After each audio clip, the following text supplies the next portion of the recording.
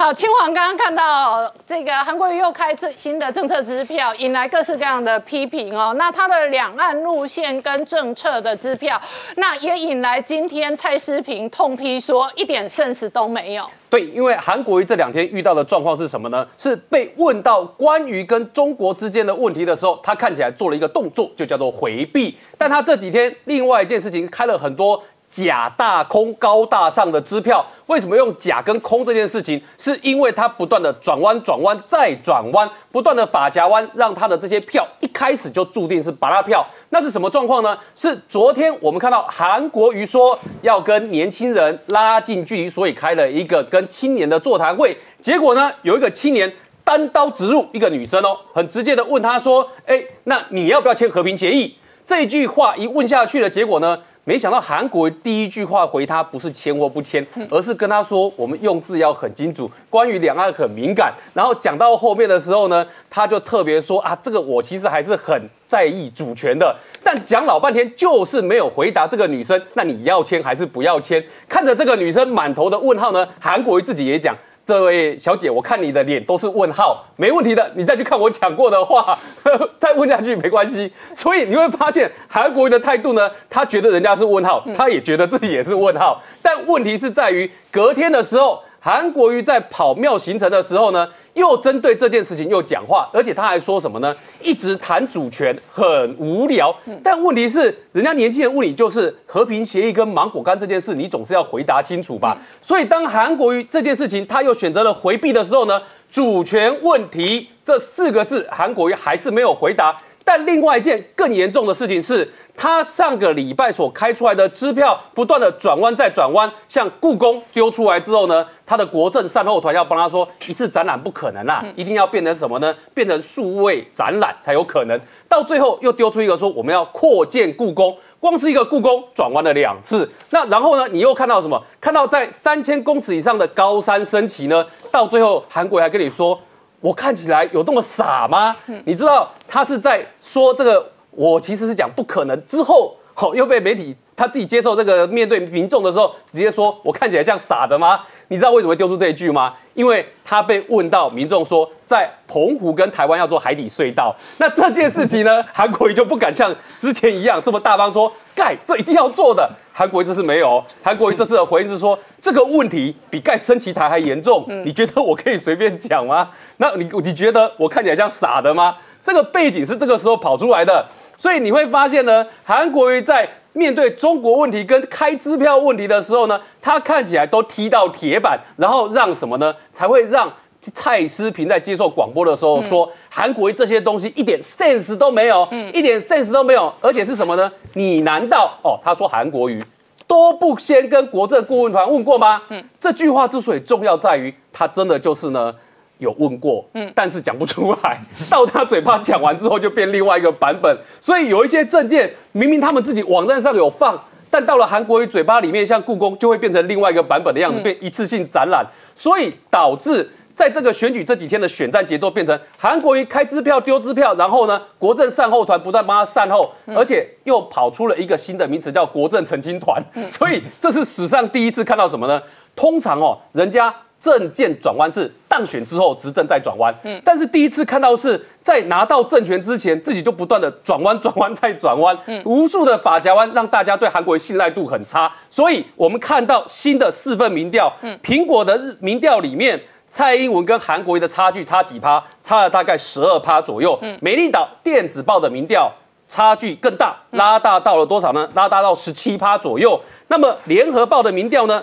蔡英文跟韩国瑜差距十二趴左右，另外一份台湾民意的民调呢？两个人的差距差了十七点四趴左右，嗯，所以你看到最新的四份民调，差距到十二趴到十七趴，对，十二趴到十七趴左右。呃，联合报的机构效应跟台湾民意基金会的机构效应跟苹果日报可能不一样，但是差距平均数在十二趴到十七趴。对，你会发现比较偏绿的机构做比较大，十七趴，但偏蓝的机构做也有十二趴，所以他也告诉你一件事，因为他们调查时间，你会发现多半在。二十五号到二十七号左右，哦，也就是我们在讨论它的超级法家湾的时间，这就是这一些。高大上假大空的支票的时间，所以它反映出来是这个事情在民众心里面呢有相当程度的影响。那我只是比较好奇啦，有一个媒体呢特别针对这民调做了一个韩国瑜止跌回升，这是哪一家呢？其实就是苹果，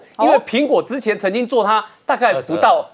二十三趴、二十二趴左右，所以等于在苹果民调里面呢，它是回升了五趴。啊，所以在苹果的民调解读说，韩国瑜叫做止跌回升。那既然这样子是止跌回升的话，我们就很好奇啦。嗯，开了这么多的脑筋急转弯、发夹弯的支票之后，还能够民调回升，那我们就替他下了一个注解，叫什么呢？叫无知虽可耻，但有用。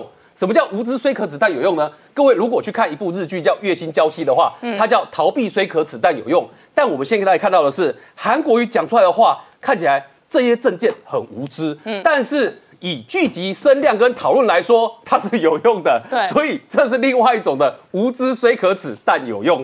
嗯，那我问你哦，清华苹果日报因为每周追苹果日报就发现蔡英文卡死在四十趴了，不会增加，但是也没有大幅的下跌。对，可是韩国瑜有 potential 有潜力。距离上一个礼拜，它增加了将近五个百分点。那表示说，韩国瑜投入选战之后，不断的动员，或者是这一个，如果把蓝绿的对立拉高的话，很有可能让蓝军一部分的盘归队。只是蔡思平跟黄青龙看不下去没归队，但是有一些人还是默默的归队。这个让我举手讲实话好了，我这样说了。蓝军的基本盘本来就没有韩国瑜上个礼拜的民调二十二趴、二十三趴这么低啦。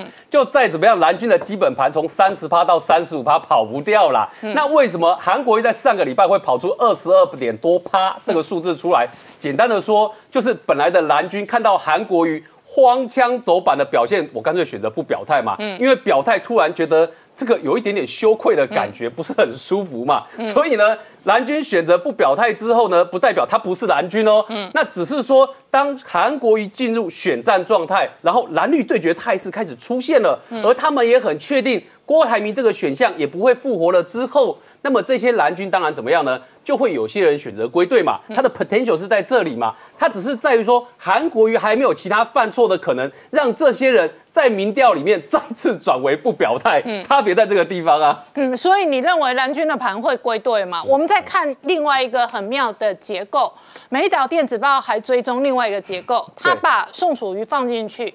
宋楚瑜的盘也一定是蓝军的盘嘛？对。好，所以呢，假设我们把宋楚瑜跟这个韩国瑜跟蔡英文三个人选来放进这一个盘里头，事实上，宋楚瑜跟韩国瑜加起来的盘是跟蔡英文逼近的。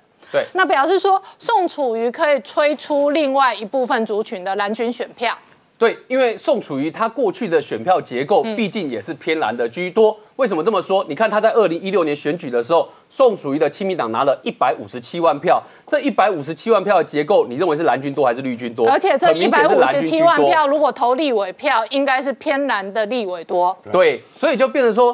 宋楚瑜的支持群众在上一波里面，你其实看到反正就是偏蓝的居多，嗯，所以当这一波宋楚瑜如果他要投入选举的时候，也应该是拉到蓝军的多。然后你看到在美丽岛电子报里面那个九趴的这个数字呢，是他还不确定，他还没正式宣布说他要选哦，哦，对，只是他为什么会丢出这个风向？是因为宋楚瑜最近开始主动接受媒体专访，嗯，那么像财讯的专访，他就做了四篇。那这四篇里面呢，宋楚瑜其实是某种程度表现他对台湾治理这四个字的兴趣。他还谈到说，台湾文化是中华文化加日本文化加西方文化加原住民文化的融合。